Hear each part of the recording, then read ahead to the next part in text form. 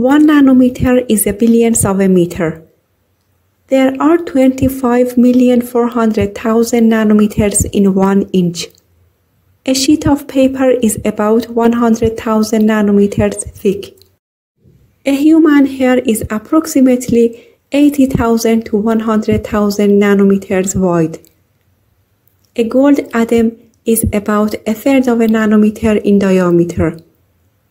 Typical carbon-carbon bond length is in the range of 0.12 to 0.50 nanometers. And your fingernail grows about 1 nanometer in 1 second.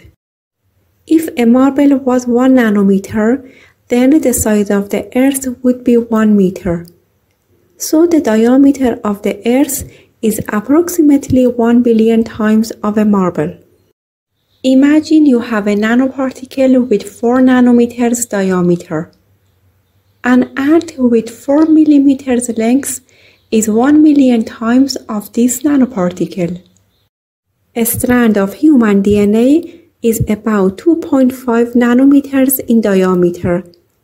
A bacterium with 2.5 micrometers length is 1000 times of a DNA diameter and a raindrop with 2.5 millimeters diameter is 1000 times of a bacterium length.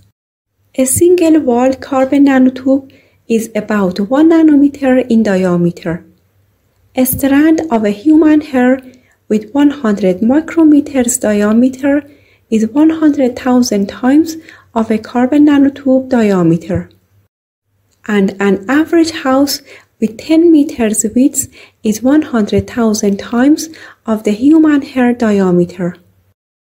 The diameter of a water molecule is about 0.1 nanometer. A glucose with 1 nanometer diameter is 10 times of a water molecule. An antibody with 10 nanometers diameter is 10 times of a glucose. A virus with 100 nanometers diameter is 10 times of an antibody. A bacterium with 1000 nanometers diameter is 10 times of a virus. A cancer cell with 10,000 nanometers diameter is 10 times of a bacterium. A pencil tip with 1 million nanometers diameter is 100 times of a virus and a tennis ball with 100 million nanometers diameter is 100 times of a pencil tip.